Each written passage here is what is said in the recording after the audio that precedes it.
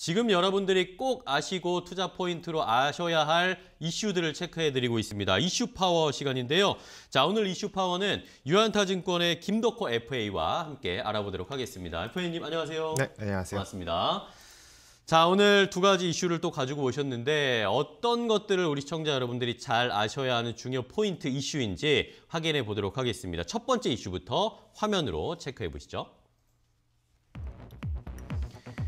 자, 오늘 첫 번째 이슈입니다. 오늘 첫 번째 이슈는 바로 이 IMF에서 우리나라를 세계 10위 경제 대국으로 등극할 것이다라는 전망을 내놓은 것 확인해 보도록 할 텐데요. 우리나라가 브라질을 제치고 경제 대국 10위에 탈환할 것이다. 반도체와 온라인 쇼핑이 역시 우리 경제의 원동력, 상승 원동력이 되어줬다라는 이야기고요. 하지만 여전히 기승을 부리고 있는 코로나는 아직 우리에게 조금 위협이 되고 있다라는 이야기인데 과연 우리나라 세계 경제 대국 10위로 유지하면서 더 성장할 수 있을지를 이 김덕호 FA와 함께 확인해 보도록 하겠습니다. 자, 첫 번째 이슈는 이 IMF에서 내놓은 이야기입니다. 우리나라 참 좋은 나라입니다. 네, 그렇죠? 네, 세계 경제 대국 10위권에 이제 위치해 있으면서 어, 어떤 내용들이 있었는지 좀 한번 확인을 해볼까요? 코로나도 이것이 분명히 영향을 줬다라는 그런 분석들도 있던데요.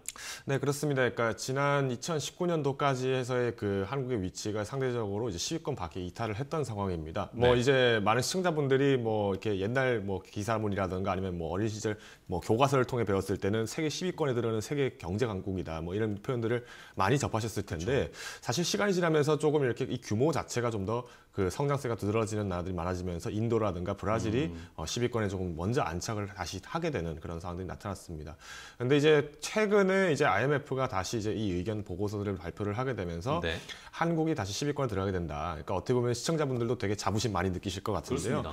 어, 이 원인을 조금 아셔야 됩니다. 그러니까 지난 2019년도에 발표가 되었던 자료들, 20년도에 발표했던 자료들을 비교를 했을 때 이번에 스테이터스를 발표를 했던 것은 2026년까지의 그 장기 전망에 대해서 발표를 한 건데요. 어, 여기에 이제 1조를 했다라고 표현을 해야 될까요? 부담을 줬다라고 표현해야 될까요? 이 영향을 미쳤던 가장 큰 원인은 코로나19였다라고 이제 표현이 어. 남아 있습니다. 어, 이전에 그러니까 상위 10개국들 중에서 1, 2, 3, 4위를 차지를 했던 뭐 미국이라든지 중국이나 일본 같은 경우에 사실 부동의 위치를 어느 정도 잡고 있었는데 그 이전에 5위에 있던 인도가 6위에 있던 영국과 위치가 또 바뀌게 되고 브라질이 어. 빠지게 되면서 다시 또 한국이 그 위치에 또 들어가게 되는 상황들이 나타나다 보니까 이번 코로나 사태가 사실은 장기적으로의 그 여파를 굉장히 크게 지금 충격을 주고 있을 가능성이 그러네요. 높다라고 판단을 하는 거죠. 그러다 보니까 지금 이제 국내에서도 마찬가지로 그간에 다시 이제 네임 타이틀을 사수전에 이제 들어가기 위해서는 음. 우리 산업 중에서 어떤 부분들이 회복이 되야 되냐가 가장 큰 관심이 될 것 같은데요. 그렇죠. 일단 이번에 이제 가장 먼저 이제 실, 이런 어떤 경제 대열에서 올라갈 수 있었던 가장 큰 원인은 크게 두 가지로 지금 파악을 하고 있는 것 같습니다.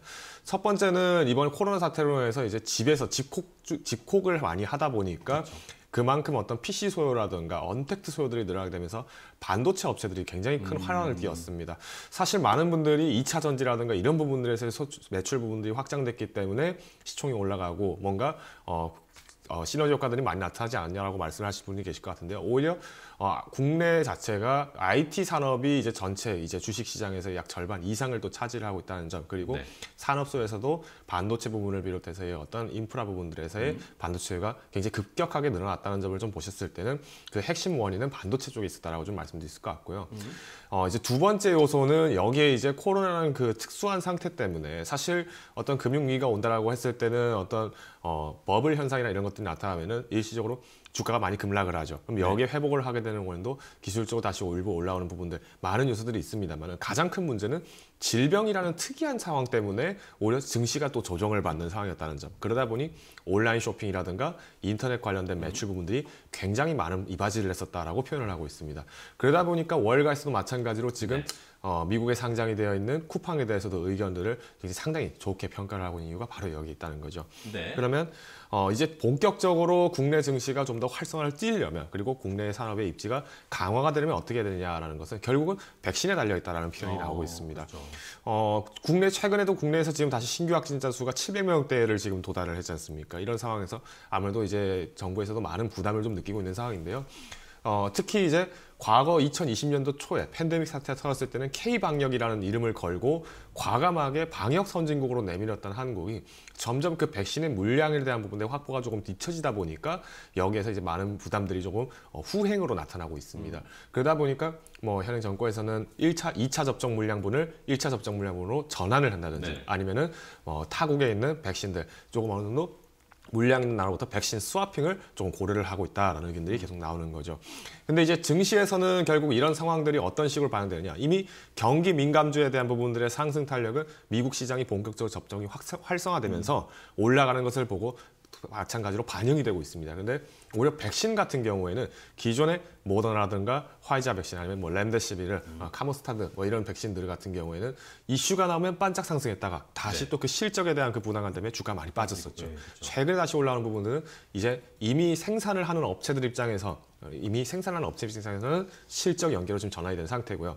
오히려 이제 당장 국내에서의 백신 자체가 부족하다 보니까 중국에 있는 백신이나 러시아 백신도 고려를 해야 된다는 굉장히 시급한 상황이 왔다는 겁니다. 그래서 지금의 입지를 가장 다지기 위해서는 백신에 대한 초점이 다시 맞춰지다 보니 오늘장에서도 러시아 백신 스푸트니크 V와 관련된 종목들이 어, 대거 상승을 하는 모습을 나타내지 그렇습니다. 말씀드리겠습니다. 그래서 어, 우선은 스푸트니크 V 같은 경우에도 이전에 팬데믹 사태가 터지고 난 이후 직후에 어, 백신주들의 그 급등세와 굉장히 유사하게 지금 나타나고 있다는 점좀 감안하신다면은 이전부터 보유를 하셨던 분들 같은 경우에는 조금 여유롭게 대처를 하실 수 있겠지만은 신규 진입하시는 분들께서는 다소 조금 부담스러운 구간이 있기 때문에 이 점의 고점만을 보시고 접근을 한다든지 아니면은 가격적인 메리트만 가지고 접근을 하기에는 어, 공매도 재개라든가 그리고 전년과 같은 어떤 유동의 활성화가 조금 줄어들고 있다는 점 그래서 조심스럽게 대응을 하셔야 된다라고 말씀드리겠습니다. 네.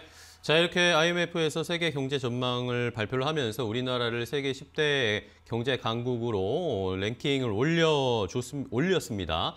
뭐 이런 상황이 역시 뭐 우리나라가 그동안 잘하고 있던 것들이 이 코로나라는 위기 상황에서 더 빛을 발했다라는 것을 확인할 수가 있죠. 반도체가 더 많이 팔렸고 온라인을 워낙 강한 우리나라이니까 온라인에서 더- 더 많은 이 활성화 언택 관련 쇼핑이라든지 온라인 쪽에서의 실적이 잘 나왔다라는 것을 확인해 볼 수가 있었습니다.